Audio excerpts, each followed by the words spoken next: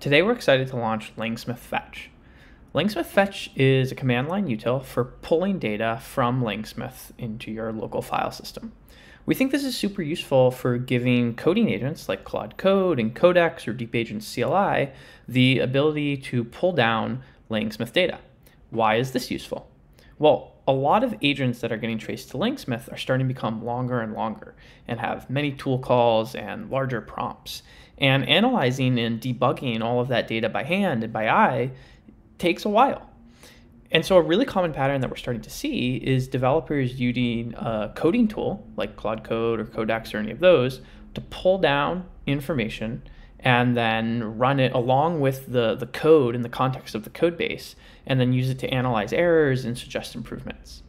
And so I'm going to walk through an example of how to do that with Langsmith Fetch right now. The example that I'm going to be walking through is a Deep Agents example. So it builds on top of our open source package called Deep Agents, and it's going to be a deep research application. So let's open up my terminal. I've already set up everything here. I've set up my environment variables and everything else I want. And in here, I'm just going to run langgraph dev. So this is going to spin up a langgraph server for my deep agent, for the research agent. Let's go here so just I can see tool calls, and then I'm going to run it. So let's see hi, and it should respond with some pretty simple greeting. I'm going to ask it to research something. I'm going to ask it, what are deep agents?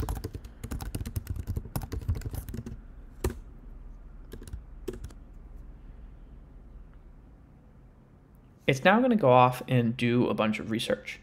Let me wait a little bit and then I'll come back when this is finished and I'll show how we can use Langsmith Fetch to analyze and potentially improve what's happening here behind the scenes. Great, so now it's done. So now I'm going to use Langsmith Fetch to analyze and suggest improvements to this agent. So let's go back here and let's go over to a new window. So this is in the same window. And what I've done is I've pip installed Langsmith Fetch. Great. And then I'm going to spin up Claude code.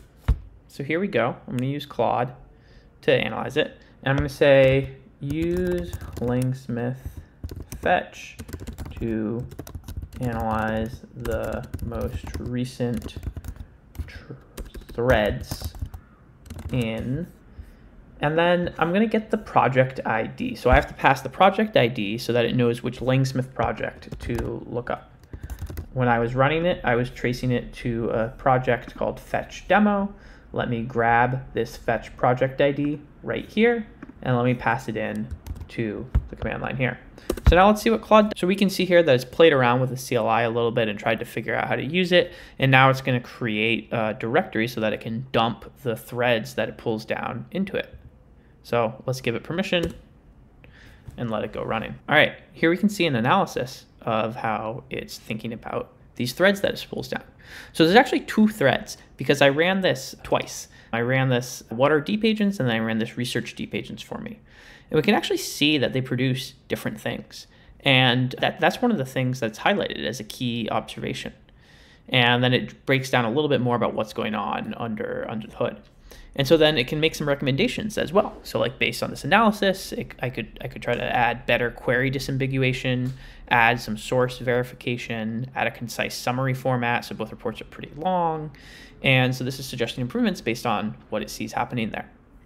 From these suggestions, I could then go ask it to implement some of these because it's in my code base, it's running, it has context of all the agent that exists there in code. This was a pretty simple but hopefully powerful example of using Langsmith Fetch to really make Claude code into an expert AI engineer and bring all the data, all the rich data that's in Langsmith into your terminal, into your coding agents so that they can become AI engineers for you.